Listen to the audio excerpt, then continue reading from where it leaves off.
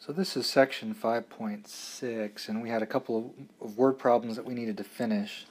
So the first one, this was number 11 on that assignment we were working on. It says Jack can mow lawn in four hours, Tom can mow the lawn in six hours. How long will it take them to mow the lawn together? Well, we can use a chart to organize ourselves in this problem and set it up, because we need to come up with an equation. So I'd like you to draw a chart like the one I just drew here. So at the top you want to write portion of the work completed by or fraction of the work completed by and then your headings are time, Jack, Tom, and together. So first of all, um, after one hour, let's talk about what portion of the work Jack has done. If it takes Jack four hours, what fraction of the work has he done after one hour? Well, that would be one fourth of the work. Since it takes him four hours, in one hour he will have done one fourth. Of course, Tom would have done one sixth of the work since it takes him six hours to do the work. So together, if we just add those two numbers, we get 5 twelfths.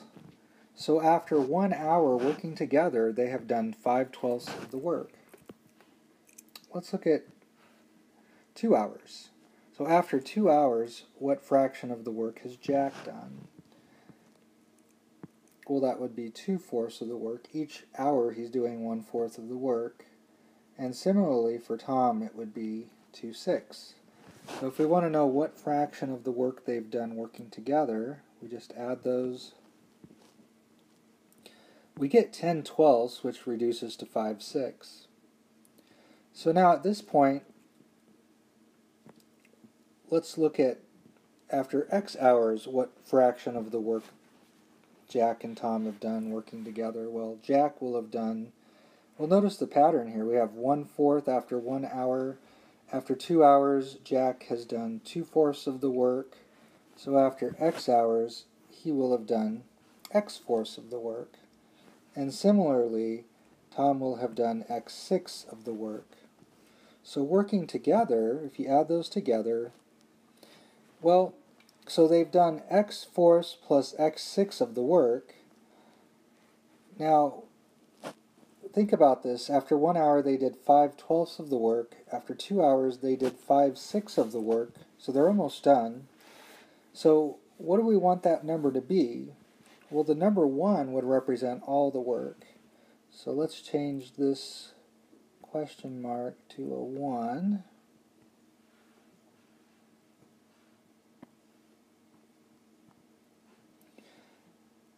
And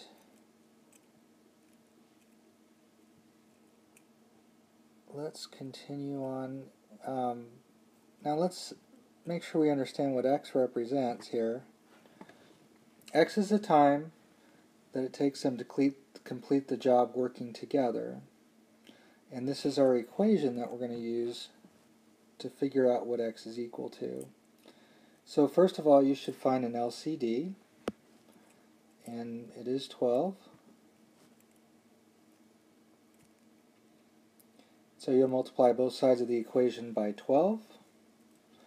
And when you do that, you get 3x when you do 12 times x over 4. You can always do the arithmetic off to the side if you want. Of course, 12 times x over 6. Again, you want to use 12 over 1 times x over 6.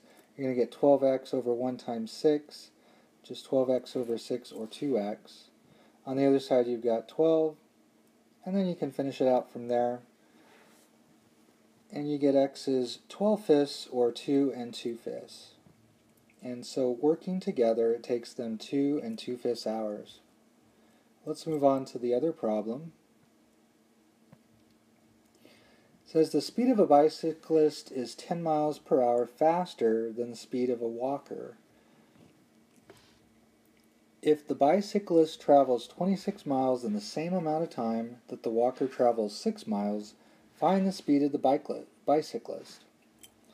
So again, we're going to draw a chart and in fact, when we work with speed, this formula d equals r times t is the formula that, or the equation that we're going to want to use. And, uh, and so we have a distance, rate, and time that we can set up for the bicyclist and the walker. Well, we were asked to find the speed of the bicyclist, bicyclist, but um, that actually isn't what we want to call x, or at least that's not what I would choose. Notice it says that the, the speed of the bicyclist is 10 miles per hour faster than the speed of a walker. So if we knew the speed of the walker, then we know the bicyclist is going 10 miles per hour faster. So let's, e let's let x equal the speed of the walker. So that means if the bicyclist is going 10 miles per hour faster than that speed, then x plus 10 represents the speed of the bicyclist. Now the distance of the bicyclist was 26 miles, and the distance of the walker was 6 miles.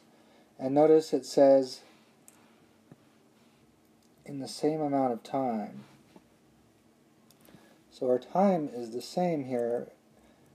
Um, we don't really have the time, but we know that the time that the bicyclist went 26 miles is the same as the time that the walker traveled 6 miles. So we got to figure out some way to come up with an equation here. Well, let's remember, uh, let's just uh, think about our equation d equals r times t, we could actually solve this for t by dividing each side by r. And so we can actually write t for these two uh, people using d over r. So the bicyclist, the distance there is 26, and uh, the rate, or r, would be x plus 10. So that's distance divided by rate. And we could do the same thing for the walker. It's his distance divided by his rate. That gives you the time.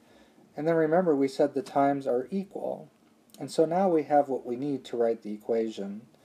So it's 26 over x plus 10 equals 6 over x.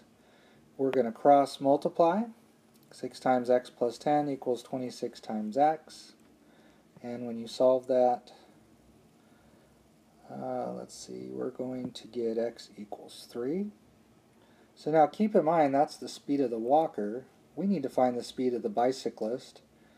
So let's go ahead and let's see, it's 3 for 3 miles per hour for the speed of the walker. So since it's x plus 10 for the bicyclist, that's going to be speed of the bicyclist is 3 plus 10, which is 13 miles per hour, and that's our answer and that's it for for that assignment. So I need you guys to do numbers 12 and 14. They're very similar. And we'll wrap things up on Monday and get ready for or Monday or Tuesday and then get ready for the test on Wednesday or Thursday depending on which class you're in.